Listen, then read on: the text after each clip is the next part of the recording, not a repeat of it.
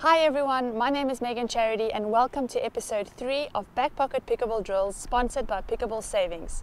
Today is a progression of last week's drill, so if you haven't seen episode 2, you may want to check that one out first.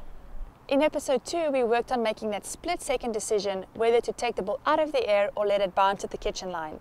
Today, we're going to take it a step further by adding pressure situations and point play. Okay, let's get started. You and your partner are going to play first to seven points with only dinking the ball down the line. But here's the catch.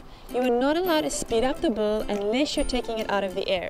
Speeding up a ball after it has bounced in the kitchen is very risky and can cause you to pop the ball up and get it slammed back at you.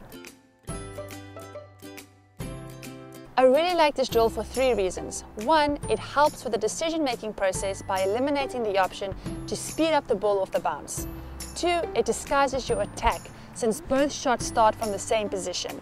And three, it helps to practice patience, discipline and intentional play. Pulling the trigger too early can be costly and this drill forces you to work your point and wait for the smart ball to attack. Remember, practicing with intention will help prepare you for match play situations. So when things aren't going your way in a match, you can always fall back to the basics and lean on the things you've been working on during practice. Alright, that's it. Enjoy this one. It's one of my favorites. And remember to subscribe to my Instagram channel and follow Pickleball Savings for awesome pickleball products. See you guys in the next video.